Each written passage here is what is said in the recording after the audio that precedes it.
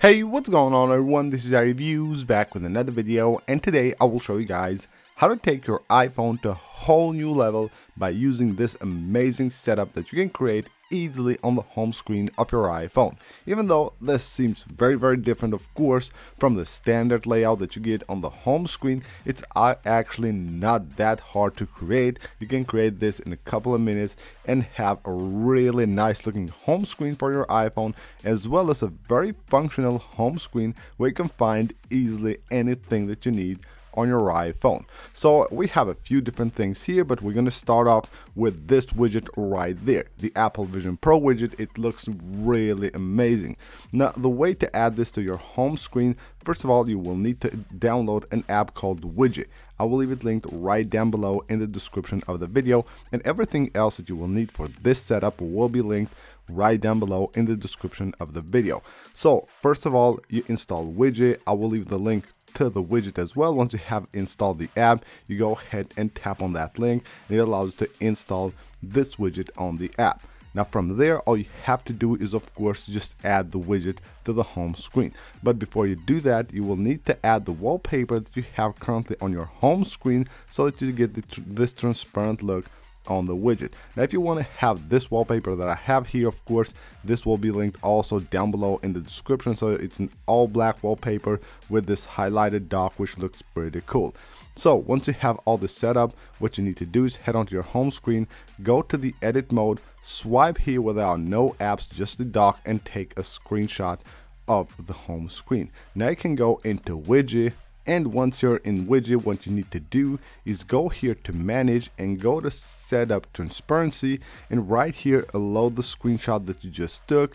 Tap the button right there so that you get this amazing transparent look on the home screen of your device. You can see how cool that it, this is. It looks pretty cool, but it's also very functional. You will get the date here. We'll have the events right there in the middle. Then you will have the current weather, the battery percentage here, and the time right there at the top. It looks really, really awesome. Now, the next thing we have here is another widget which allows to have four different docks on the home screen of your device. So then we have four icons on the second one another four then another four and another four. And of course this is functional. You can open any of these apps directly from here.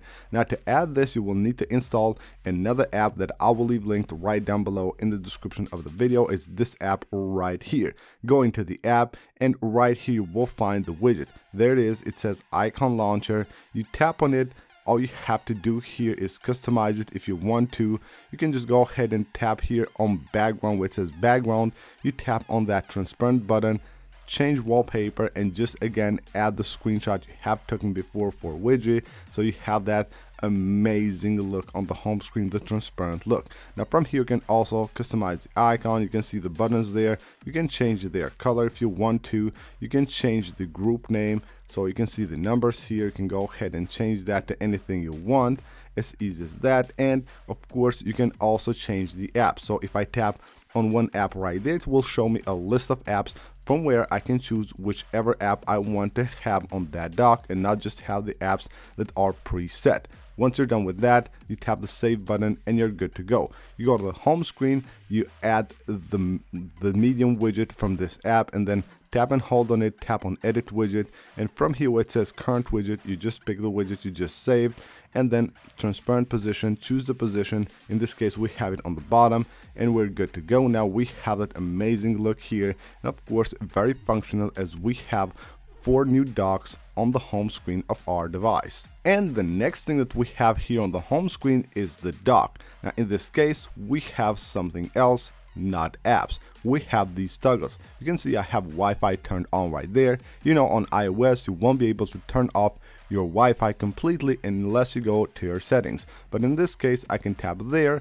You can see it will turn off Wi-Fi. Can tap right there again to turn it on. I have the same here for Bluetooth. I have a restart button for my device and a power off button for my device. So all of these are shortcuts which I will leave linked right down below in the description of the video so you can go ahead and install them and quickly add them to your dock. It's not that hard to even create these by yourself but just so that you don't have to worry about that and don't have to, sp to spend time creating them you can just find them on the description of this video. Next up, I'll show you guys how to have a crazy setup for your action button if you have an iPhone that has an action button. Now what I'm talking about here is an app called Action Made that allows you to do way more with the action button on your iPhone. Now you can see what I can do right here if I just press the action button while the iPhone is on the portrait mode. I can go ahead and record an idea right here tap right there once I'm done or if I just go ahead and do this while the iPhone is on the landscape mode you can see now I will be able to actually take a picture. So you will have different actions for different posi positions of your iPhone.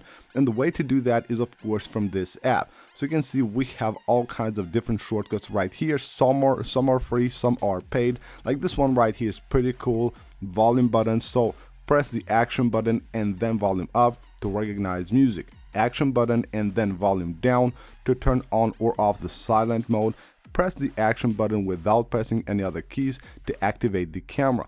Now for this to work, you install the app, of course linked down below in the description. You go ahead and add any of the shortcuts that you like from this app. Once you have added those, all you need to do is head on to your settings app and from here just set up your action button choose shortcuts and of course tap right here and choose the shortcut you just added from the app and now you have way more features on your action button on your iPhone 15 Pro. And last but not least is a forgotten part of the home screen of your iPhone and that is the part right here where we used to have the old style widgets on iOS. But what I like to do here is add some like this. You can see here I have a ton of apps. It looks like the app library, but it's actually widgets from Siri suggested apps. So you tap the edit button and go ahead and tap the plus button and you add four shortcuts from Siri and what it does is that it will suggest you apps based on time of the day and based on your usage of apps. And you can see I have four of the same widgets and none of them will show the exact same apps. We have all different apps on any of them.